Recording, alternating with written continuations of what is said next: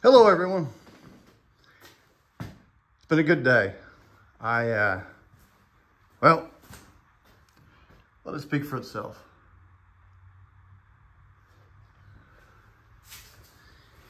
I got the first beam completed for the flight engineer station. It's just hanging on there by uh, scaffolding wire. The good news is, is everything makes sense. I like that angle coming off the base of the main panel to about that black line on the edge of that circle. That makes sense. Uh, over the, on the other side is gonna be a whole mess of stuff to figure out. I've moved everything up considerably. I'd say at least three inches. I think the canopy needs to be straightened out. We'll finalize that. We're getting there. Getting that beam up in there is really important. Let's go around the other side. Now, in terms of how far this beam projects beyond that panel, it's kind of a mystery. My guy got in there as good as he can, but it's definitely, it's more than in the ballpark. It's, you know, it's, it's, it's right where it needs to be because my theory is, is this angle, which is true to the original. That was one angle I was able to copy. And there's a bracket that starts here and then expands a little bit. And then I theorize, I strongly theorize that based on my current placement, which I feel is a little bit too far aft, that this will intersect with bulkhead 2.0. If it doesn't, it's fine because as you guys know, the, um, the, the, dual flight engineer station was something that was an afterthought in terms of the overall B-36 design. But this, I like this angle. It kind of flows with the fuselage. So this will definitely be something that will tie together elegantly. Eloquent, if that's a good word. I think y'all know what I mean.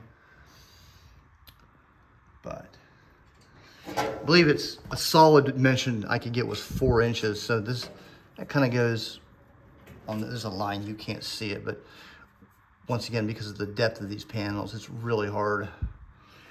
But I do, I do like that. I, I feel really good about the work I got done today. If you can imagine if there's glazing here, trying to get a, a camera back into here is, is tough work. But the, uh, the effort that I get from my friend is definitely appreciated and commendable. Without him, I would be nothing. So let's go on the inside and have a look at what's going on in there. Now mind you, I'm just, yeah, tight fit. I'm just scratching the paint on this thing. Well, I dent the fender today, but we still got a long way to go until the entire aft end of this flight deck is whatever you want to call it. I think that this right here, well, I do know that right here is going to be the edge of the panel that sticks up there. There's a big casing that encapsulates the back of it, which I think is going to, I left enough room, I can chop this off, but I think it's going to go about right there there. So this would probably be the imaginary line, which it's been a while since I climbed into a B-36, but this is about the space that you have because there's a wall here and you climb up and you squeeze in here onto the flight deck and then you're there. Of course, the seat is sitting here, but this, this placement isn't true yet. I just, I don't have enough room on my flight deck to uh, put it where I want it, but it's very tight. Um, I think guy's got just enough room for his kneecaps to go in that area. But, uh, let's see. These holes, these aren't lighting cuts or anything. Those are for a line of circuit breakers that are gonna go lengthwise and they go from, I I think here, they're side by side pretty much all the way across to the end. So you're gonna have this curved piece here, which is like a guard. I think it's probably made out of plastic. And then you're gonna have about two inches and there's gonna be a lip and there's just gonna be a line of circuit breakers, which is gonna be a hoot. Um, and then this area here and this area here, between these areas is where the engineer's throttle quadrant is going to be. And there's going to be a beam here and here.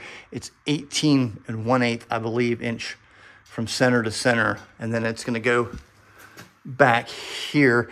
And then there's going to be another beam sort of identical to this, which if it was hard to get here, it's impossible to get here. I have a rough shape, but it's essentially the same thing. So it's going to go back here and then there's going to be a shelf off the back of that beam where there's going to be shock mounts. Luckily, I've got an original panel. I know exactly where those those shelves and everything's going to be. So that'll be nice. And then, of course, this huge panel right here. And then another panel here. And then there's going to be a leg, at least one leg. And then everything's finished in with really nice fairings. And under here is where the big um, six engine synchronizer lives. It's a, what that thing does is um, your, uh, on your, your console, the pilot can adjust the RPM, which is the overall RPM of the six engines, and his gauge is right there.